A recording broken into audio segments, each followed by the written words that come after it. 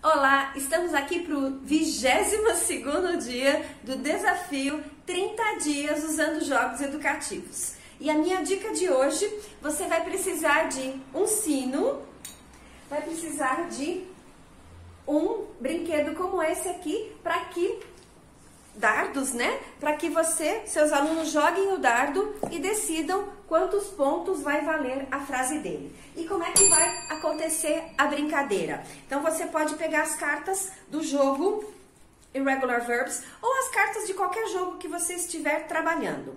Então você pega uma carta e decide que tipo de frase que vai usar. Se você tiver as tabuletinhas, né? Eu fiz tabuletinha, mas se você tiver as cartas do do jogo Irregular Verbs, você mostra a carta e o tipo de frase. Aí os seus alunos estão divididos em grupos. Quem bater o sino primeiro tem que fazer uma frase.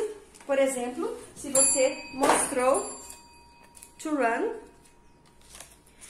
com uma pergunta, com o, o símbolo da pergunta, né, interrogação, ele vai ter que fazer uma pergunta com essa com esse verbo aqui. Se estiver correta, ele vai decidir quantos pontos o time dele ganha. Se estiver errada, ele não ganha nenhum ponto, certo? E assim sucessivamente. Então dá para você é, estimular os seus alunos a fazer frases, a usar os verbos de uma maneira bem divertida. Esse é o desafio de hoje. Amanhã tem mais.